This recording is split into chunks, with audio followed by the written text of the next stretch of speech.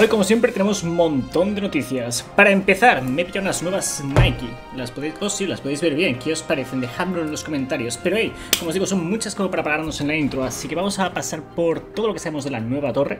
Y no es poco, porque hace semanas que no hago vídeos de ello, pero es que han habido montones de nuevas pruebas y un, un post muy bien explicado sobre todo lo que sabemos sobre la torre. Y es que sí, mola, mola un montón. También, ¿qué onda con la Galahorn? O sea, todo el mundo habla, hablándome de la Galahorn, porque se ve que un desarrollador de Bungie ha hecho un meme la Galahorn. Y es en plan, está jugando con nuestros sentimientos, es un tipo de teaser, en fin, vamos a hablar de eso y de montones de otras cosas. Así que sí, vamos a comenzar ya con esto. Así que vamos allá. Este vídeo está patrocinado por Blazing Boost y si aún no lo conocéis, son los mejores en ayudas de Destiny. Como veis, tienen una puntuación de más de 12.000 reviews positivas, 5 de 5, ellos pueden ayudar con todo, desde subir de nivel a las pruebas de Osiris, incursiones o casos Gran Maestro, hay paquetes de descuento, por cierto, y bueno, de todo, ¿vale? Así que si es algo que os interesa, ya sea porque no tenéis tiempo para hacerlo por vosotros eh, mismos, porque queréis algo con muchas ganas y tenéis más ganas de usarlo que conseguirlo, pues esto es lo que más os puedo recomendar, ¿vale? Y de hecho tendréis un link abajo en la descripción con un descuento en las pruebas de Osiris o en la incursión, lo que más te interese. Tenemos muchas noticias, así que vamos allá. Comenzando las de hoy. ¿Qué estáis viendo de fondo en pantalla? Pues es este güey de aquí, el Nómada, mencionando el Galahorn. Probablemente lo habréis escuchado, lo habréis leído más de una vez, ¿vale? Si jugáis Gambito y... Sí, o sea, no es que a mucha gente le guste jugar Gambito. De cualquier modo, probablemente lo hayáis escuchado. Y si no, pues que sepáis que lo menciona. Y es la primera pista de la que vamos a hablar. Luego, para quienes no lo sepáis, bueno, hace de hecho un par de años, en 2019, ocurrió esto, ¿vale? O sea, esto es real, porque igual hay gente que no lo ha visto y dice, what the fuck, esto no existe, pero sí, es real, o sea, hay vídeo y todo. Y bueno, básicamente, la araña había, bueno, tenía una aventura para nosotros en la que nos ofrecía distintos materiales, ¿vale? Todos prácticamente imposibles de obtener, solo había uno que se podía obtener, ¿vale? Porque el Galahorn, por ejemplo, te pedía 20 engramas exóticos, que no solo son imposibles de obtener de por sí, o sea, es muy difícil, ¿no? Farmearlos, sino que tampoco puedes entregarlos de golpe. De cualquier modo, ¿vale? Ahí estaba pues como ese pequeño guiño al Galahorn. Y de ahí han pasado dos años, ¿vale? O sea, no es que nuestras esperanzas de la Galahorn estén muy altas, ¿vale? Hasta ahora, que un desarrollador de Destiny en particular ha vuelto a utilizar el arma como meme. De cualquier modo aquí podéis ver el arma, si es que no lo habíais visto nunca. Tampoco vamos a liarnos mucho, también está la versión de Galahorn de hierro, que viene con señores de hierro. Y luego el garrafón, que es como le llamaba todo el mundo, el tiracuetes. Vale, en fin, aquí tenemos el tweet de Elliot, para quienes no lo conozcáis, Elliot eh, una parte de Stab, de diseño visual, eh, UI y UX de Bungie. Bueno, básicamente es un desarrollador de Bungie, ¿vale? y tuiteó esta imagen en la que está utilizando el Galahorn para ah, eh, eliminar el problema pues de... Ahora no recuerdo cuál es este tipo de barco, bueno, el barco Evergreen, ¿vale? Que se ha atascado en el canal, ¿vale? O sea, está trending por ahí y bueno, está utilizando el arma pues para despejarlo. O sea, sí, mm, es un buen meme, no es que sea precisamente una indicación, pero la comunidad, o sea, hay no, todo el mundo, porque probablemente muchos de vosotros aún no os habéis entrado, pero hay bastante gente discutiendo muy seriamente el tema de que puede que sea un guiño al regreso de, de Galahorn. De cualquier modo, ah, como veis, ha ganado un montón de tracción, y ahí estoy yo, pues haciendo el retweet también.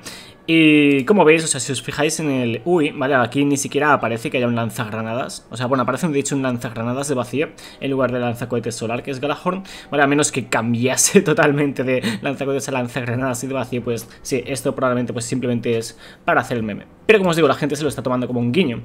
Y a ver, ¿podría regresar? Sí, porque es que no solo ha regresado una vez anteriormente, sino que además la esperamos, ¿vale? Han habido demasiados guiños a que regrese este arma. Ahora, ¿la espero precisamente? No. Bueno, o sea, esto para mí pues es como una pequeña pista, pero hay mucha gente esperando que vuelva en plan 100% es en plan, para el carro, colega, yo te diría que te lo tomes con un poco más de calma, ¿vale? O sea, la gente, pues, como os digo, tiene muchas ganas de que regrese, igual que yo, pero os diría pues esperar a ver, ¿vale? Va, a regresar, por ejemplo, a Cámara de Cristal la próxima temporada. Y si regresase, por ejemplo, esta temporada, la próxima, de cualquier modo, creo que gran parte de la comunidad querría que regresase pues como una de las armas que obtienes eh, como recompensa exótica en un engrama o algo así en lugar de aventura, ¿vale? Porque, o sea, la gente que, que jugó Destiny 1 sabe que lo guay de la Galahorn era obtenerla pues jugando en la cámara de cristal o a través de un engrama, por suerte, ¿vale? Porque era muy difícil obtenerla en lugar de la aventura que hicieron con Señores de Hierro, que te la garantizaba, ¿vale? Le, le quitaban pues, mucho valor al arma, pese a que es un arma súper destructiva, súper genial, ¿no? De cualquier modo, ahí está la historia, ¿vale? O sea, no os lo toméis como por seguro, ¿vale? Pero bueno, eso es lo que ha ocurrido y por lo que ha habido tanto revuelo en la comunidad. Luego, aquí tenemos uno de muchos teasers, trailers que está creando la comunidad para temporada de la plaga. Y como os digo, es uno de muchos, ¿vale? Pero wow, no ha parado esto desde que os comenté el tema de temporada de la plaga hace... ¿Cuánto? ¿Hace una semana? Sí, es que esto empezó, me parece, el 26 de marzo, hace menos de una semana. Y Dios, no para, no para, no para de unirse gente y no paran de crear cosas fantásticas y apenas queda un mes y cinco días para que revelen el proyecto el 5 de mayo, ¿vale? Aquí por ahora pues van compartiendo cosas, ¿vale? De todo el mundo que se está uniendo al proyecto, ¿vale? Ya sea pues eh, creando diseños o compartiendo o poniéndose los diamantitos estos, ¿sí va? Y por cierto, este diseño está muy guay, lo he compartido en mi Twitter. Si me, seguís en Twitter también veréis cosillas de estas. Y es un diseño de No Land Beyond, ¿vale? Sí, y está genial. O sea, para los que no lo sepáis, eran mis exóticos favoritos. Este fusil exótico de cerrojo. Porque me parecía súper original y divertido. Y bueno, ahí están, ya os continuaré informando. Por ahora no es que haya habido ninguna nueva revelación en cuanto a lo que podemos esperar y tal, ¿vale? Van compartiendo arte y tal. Y bueno, ya os mantendré informados. Luego, la cripta de la piedra profunda teóricamente ya se puede completar solo, ¿vale? Al completo, ¿vale? Antes habían, pues depende qué encuentros que se pueden hacer, ¿vale? Algunos de ellos, de hecho, requieren... ¿Cómo se dice? Ah, sí, bueno, requieren utilizar algún que otro glitch, ¿vale? Por ejemplo, el de Solotanix requiere glitch. Y bueno, aquí básicamente os explica cada uno de los encuentros y cómo se pueden completar, ¿vale? Y técnicamente, como dicen, teóricamente, mejor dicho, se puede hacer. Me parece que no hay nadie que lo haya logrado todavía para, para poder mostraroslo, pero aquellos que os gustan los grandes desafíos, que sepáis que podéis probar y os dejaré el link abajo en la descripción para que veáis cuáles son los métodos que está utilizando la comunidad.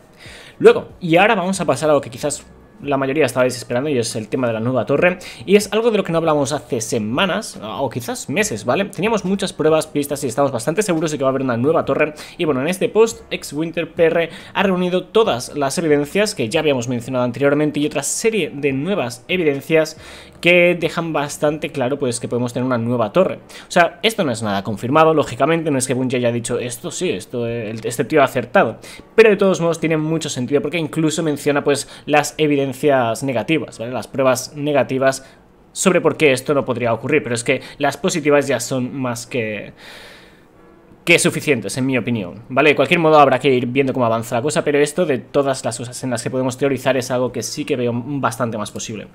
Entonces, para empezar, en esta imagen lo que está señalando son que varias de las cajas en el Geon, ¿vale? Están ah, agarradas con estos cables, ¿vale?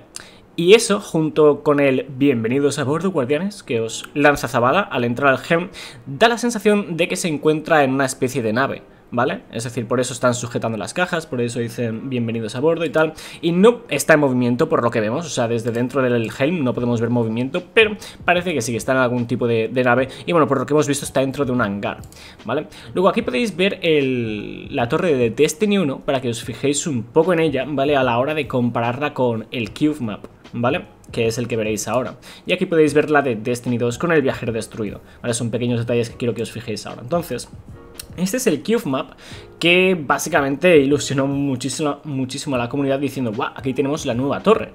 Yendo directamente al grano, aquí tendríamos lo que viene a ser el Helm, ¿vale? Creemos que esta es la zona del Helm y veréis ahora de hecho que por las comparaciones tendría todo el sentido que esto sea el Helm, aunque no tenga tanto sentido dentro de cómo lo vemos ahora en Destiny 2, ¿vale? Es como que tendrían que llevar el Helm aquí, de algún modo.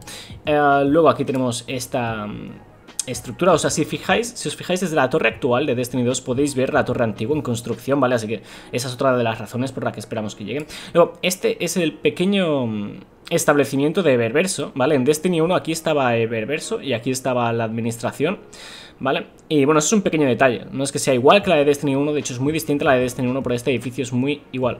De hecho, esta turbina de aquí te empujaba hacia arriba si la activaba otro guardián por ahí. Luego este sería el puestecito del criptarca de Rahul, igual al de Destiny 1, solo que en Destiny 1 estaría por esta zona. O sea, como os digo, ah, tiene algunas similitudes a la de Destiny 1, pero es totalmente nueva, ¿vale? No la habíamos visto. Luego tiene pues este, esta parte central y ya podéis fijaros que tiene como un par de laterales y esta entrada central por donde se puede entrar al lugar. Luego aquí tenemos el hangar, un hangar, ¿vale?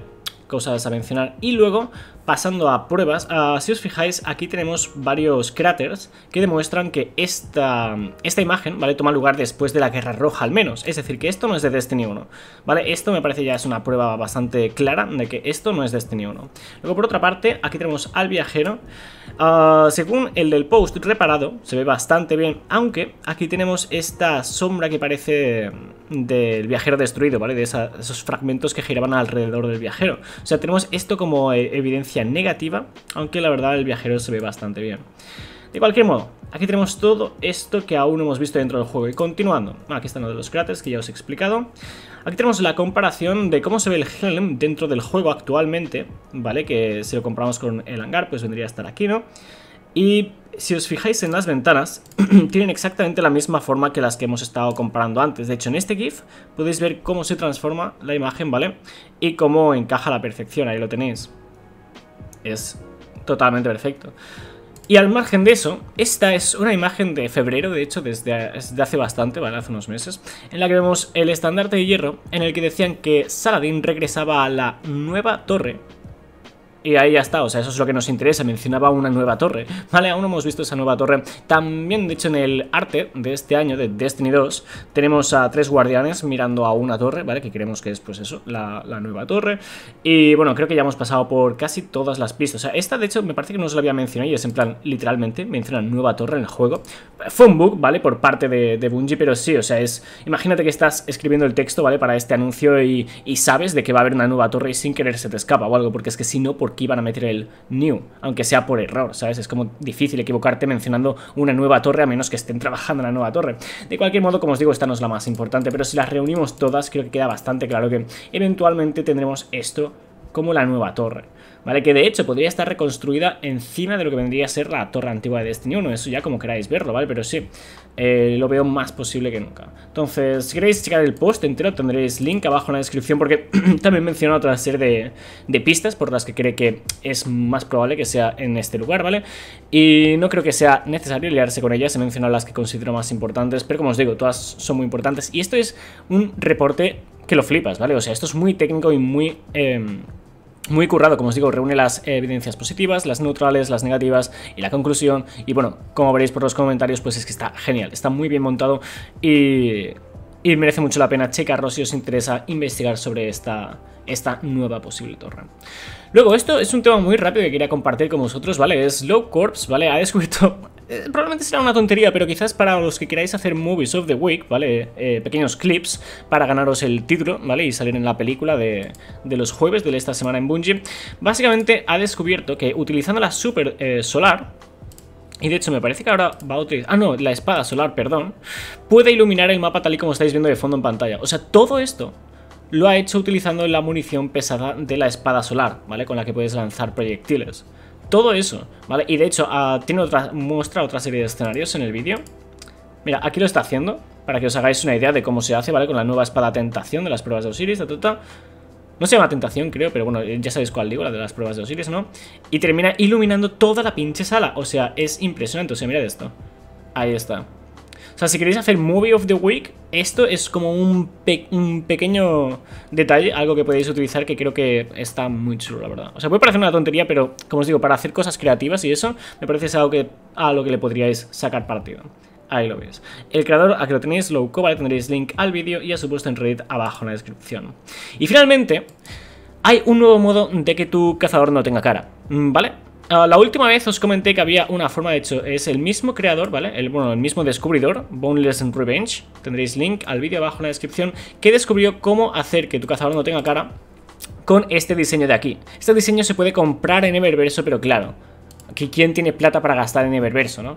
Entonces, ha descubierto un nuevo modo, ¿vale? Que es utilizando este casco de aquí, que de hecho es de esta temporada, podéis aprovechar y conseguir este casco esta temporada, de hecho lo podéis sacar desde el mismo pase, si aún no lo habéis hecho. Y luego tenéis que seleccionar este... Espérate.